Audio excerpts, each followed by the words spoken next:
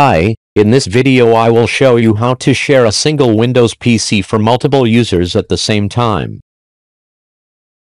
To do that, you use the remote desktop available on the Windows operating system. But how can many people remote desktop to a computer at the same time? That will be solved in this video. First you set up a static IP address for the target computer.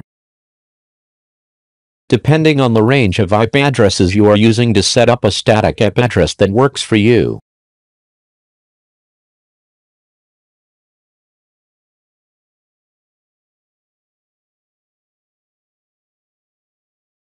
This IP address is used for remote access to the target computer.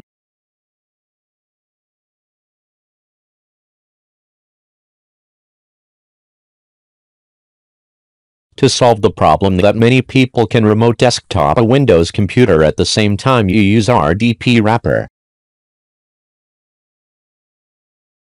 It will help you to allow multiple people to access a Windows computer at the same time.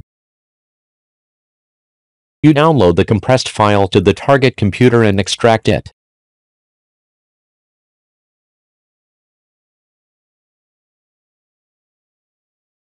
Here I create a new folder on my desktop and unzip the downloaded file.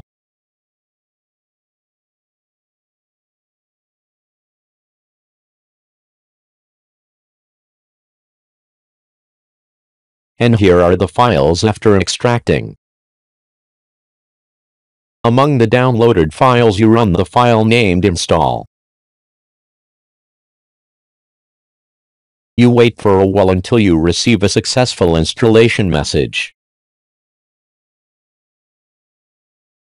Next you open the configuration file of the RDP wrapper. If the above red text appears, the solution is as follows.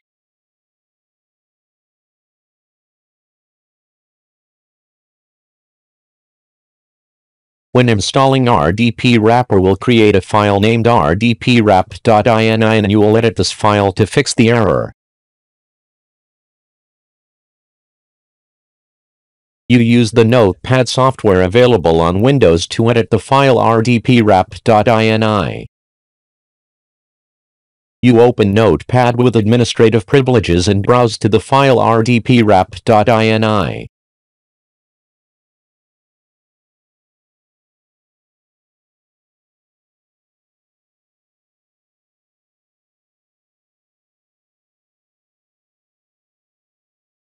You delete all lines and replace with the content as above. I will put the download link for this file in the description of the video.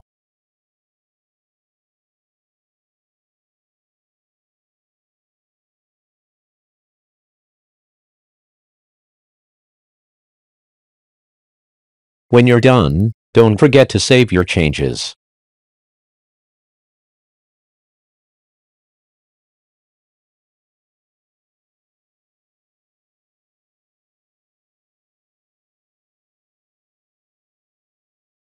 Now you open the configuration file and you will see the error has been fixed. No more red error warning text.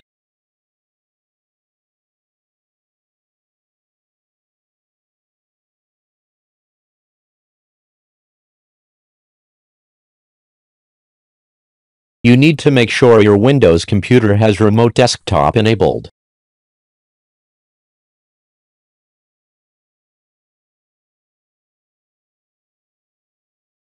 To have multiple people remote desktop to the target computer at a time you create additional accounts for each person.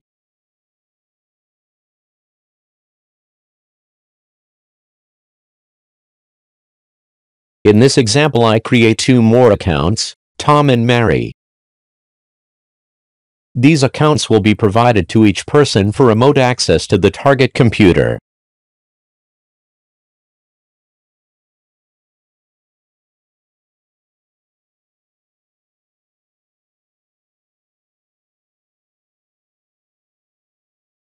For the settings to take effect, restart the target Windows computer.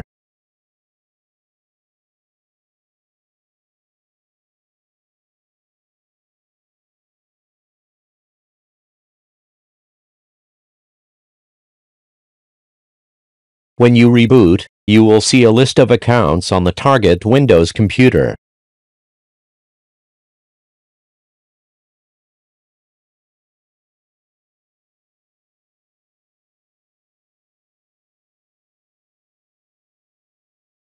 By default, these newly created accounts are not allowed to Remote Desktop.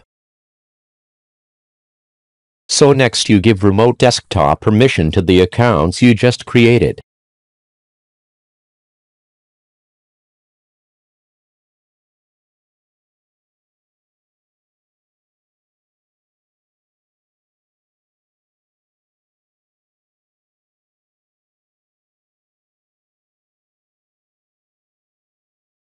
So I have granted access to two accounts just created, that is Tom and Mary.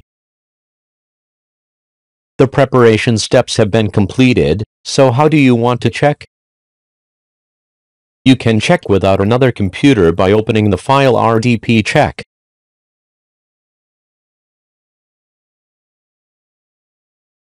As you can see I can access the Windows computer with another account. If you want to access this computer over the internet you open port 3389 on the router and configure DDNS if you don't know a static public address. But to make sure everything works fine, I use another computer and access it remotely by IP address. Everything works fine, and so at the same time many people can use the same computer using the remote desktop. If you want to use this method, please leave a comment. Thanks for watching, don't forget to like and subscribe.